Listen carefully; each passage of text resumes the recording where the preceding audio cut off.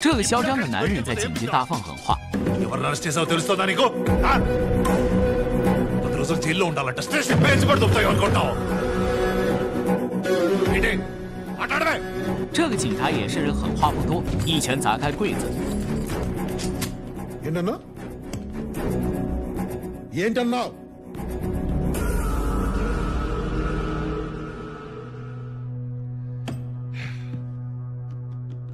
就在刚刚，这个男人面对警察临检大闹检查站，就算被一拥而上的警察们控制住，他的霸气依然侧漏。四十五码的大脚一脚踹碎了大灯。面对这个桀骜难驯的男人，警察只能立即呼叫支援。在局势即将失控时，一道强光射在男人脸上，一个举着手电筒的男人缓缓走来，来人不由分说就给了男人两个耳光。他是警局的副局长，名叫纳亚，也是整个警局的精神支柱。他让警员们把他们押回警局进行调查。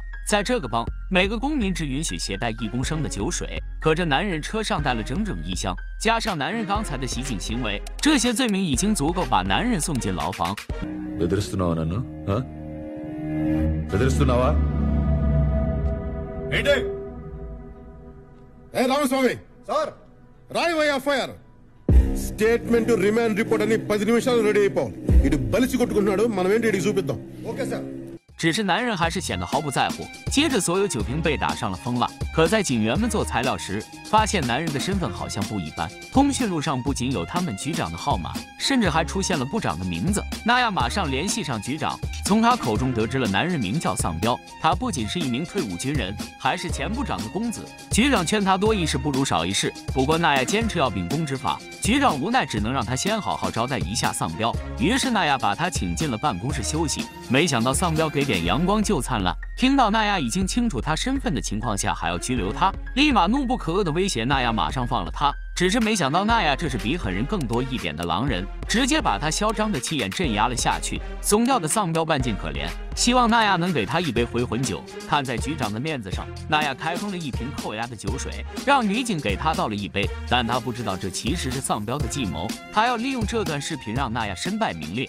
他本是一个被警察身份限制的极端分子，可如今却有人不知死活的陷害他，让他摆脱束缚了他半生的警察制服。他此刻毫无忌惮的大开杀戒，嗜血的气势让这些小卡拉咪心惊胆战，带头大哥不知死活的冲向了男人。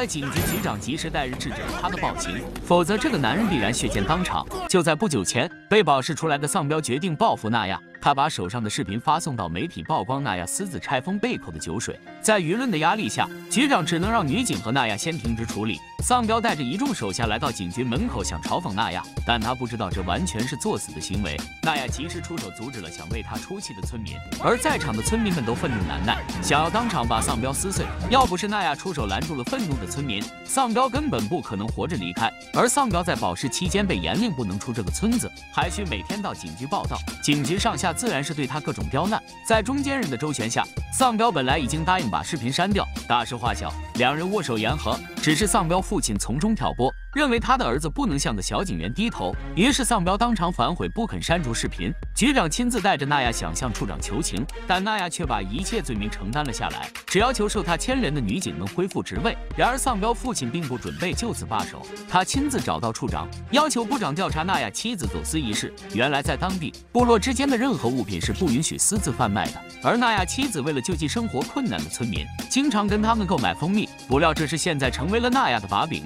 收到消息后，警觉暗自通知娜亚带妻子回娘家避避风头。当丧彪父亲派出的打手们来到娜亚家中时，这里早已人去楼空。刚送完妻子回家的娜亚接到一个电话，电话那头警告他跟丧彪低头认错，否则就不会放过他的妻子。而他根本不知道他是惹怒了多么可怕的存在。彻底被激怒的纳亚直接杀到了他们的大本营。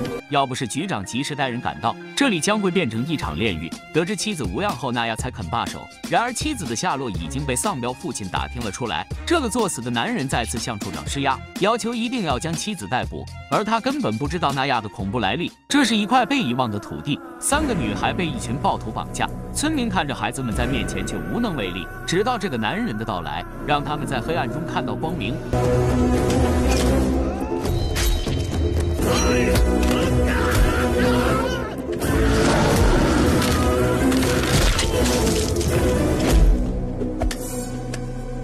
在女孩眼中他就是上天派来拯救他们的天使。对这个重新赋予村民希望的男人他们将他视若神明。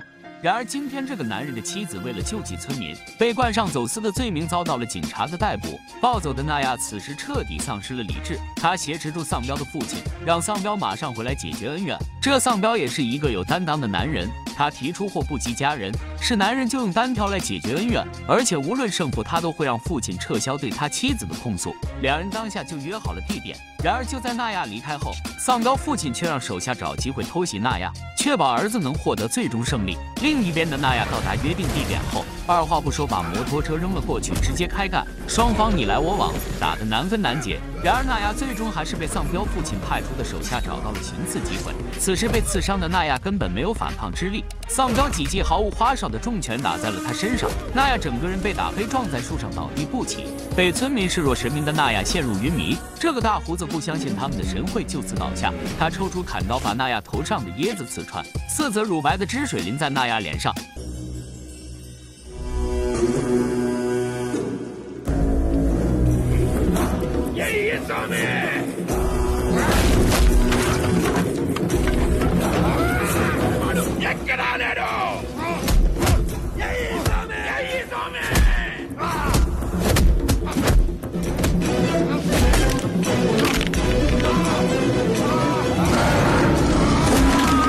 然而，就在娜亚想把丧彪就地正法时，丧彪妻子冲了出来，恳求她放过丈夫。